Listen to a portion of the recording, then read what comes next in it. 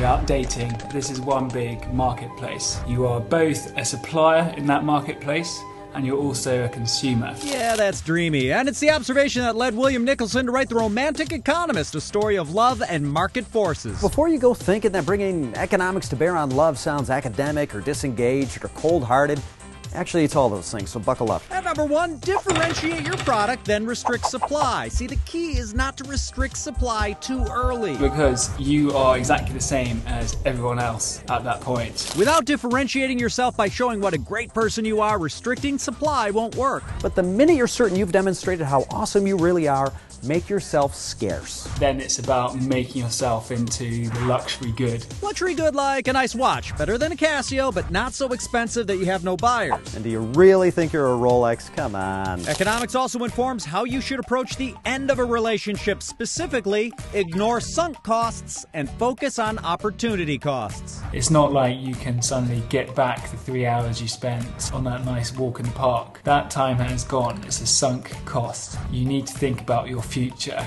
What are you going to be missing out on if you stay together? Okay, yeah, that last one was kind of a bummer. So let's end on a romantic note. Namely, sacrifice liquidity for higher returns. Think of the relationship like a bond. The longer you tie up your money in these bonds, the better the rate of return is. Although you lose your liquidity, your ability to withdraw that cash, you are rewarded for that with better rates of interest. So there you have it, an economic take on love. Invest at your own risk, and individual results may vary.